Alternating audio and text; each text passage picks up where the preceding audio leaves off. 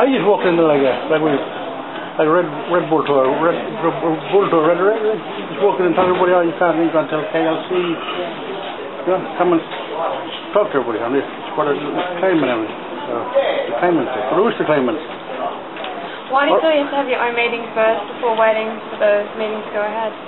Well, that's what we wanted to do first, discuss all that matters first. We've been invited by Joe Roe and by Damon and them, because we, we advice us, Roe advises them. That's what we're here for. Do you think they're disrespecting Jabba, it is, disrespecting their claim and Joseph's claim. You're disrespecting Joseph more because he's the one that hold that northern law from one point on over here. He's the custodian of that law around this area. It's just not good enough what they've just done now? No, it's not good enough. Eh?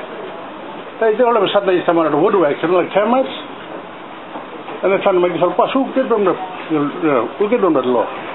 They said there was the northern law. That's northern law come out of here. What's your traditional law? Huh? What's your traditional law? The northern law.